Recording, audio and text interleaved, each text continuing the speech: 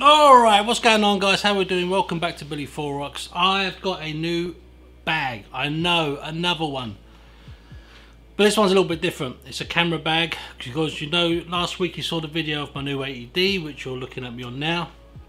Um, I had it in my old rucksack and I was riding around on the bike and I could hear it clanging against the tripod. And I'm thinking I must be out of my mind. I've got a thousand pound camera bashing against other stuff. Uh, I need to get a proper camera bag. So let's have a look.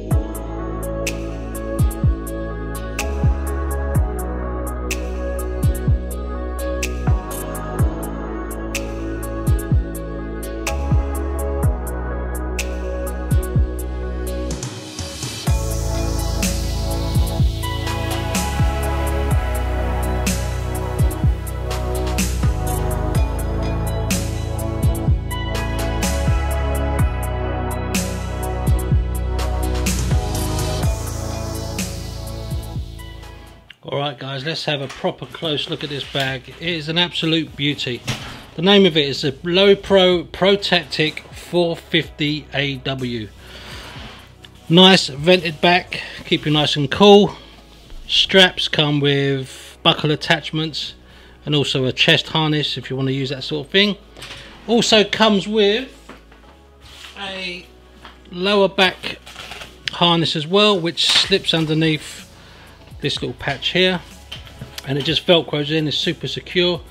And on the side of that is you get these little pockets that you can stick anything in lens cap covers cleaning cloths anything that comes in handy when you need it. So that's the back. Let's have a look at the front. So you notice along the whole front of this thing you've got these like straps are like MOLLE straps and Lowepro actually supply you with uh, different size bags. There's three in total. We've got a large one here which you could use for a uh, a canteen or something like that. I, what I do is I put my base of my tripod in there just for extra security. And they also supply with these straps as well. So you just strap these anywhere you want.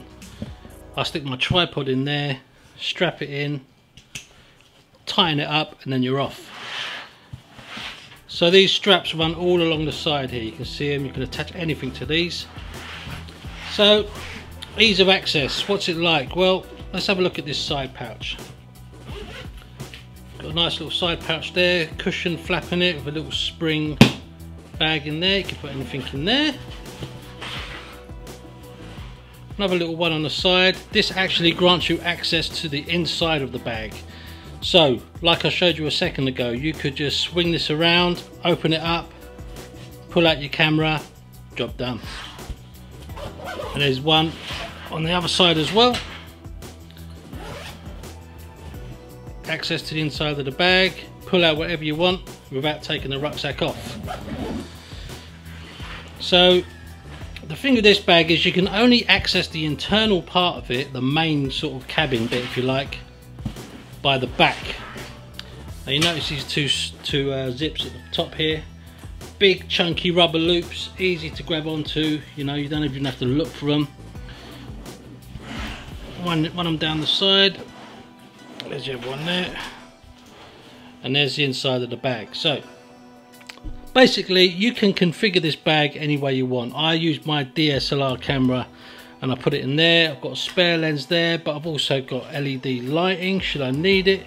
I've got spare cables mini tripods SD card transfer cables a charger uh, plug for the LED lighting. And then the top bit here you've got another nice compartment spare batteries. It also comes with spare dividers should you want to make up a smaller little apartment in the top there that in there. Two small pockets at the front. And at the top of the bag you've got a nice large section for a laptop or a couple of iPads. Chuck that in there. And that's the good thing about this bag. The opening to it sits on your back. So essentially no one can get to it when it's on your back. No one can unzip it without you knowing. Um, so yeah it's a lovely little bag. And it looks mean. It doesn't scream.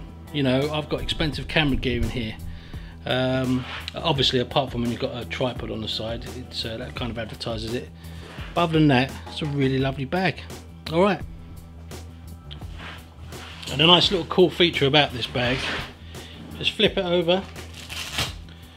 In the back here you got yourself an instant rain cover which is always attached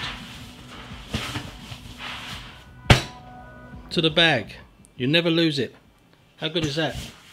It's got nice reflective material as well. So yeah. Very nice.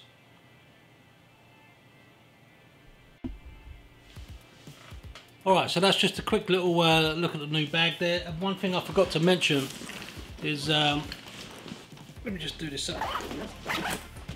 On the top of this bag is another way to access it as well, but the difference is, other than the side bits, this has got a hard shell on it. So this is the only area that's got a hard shell.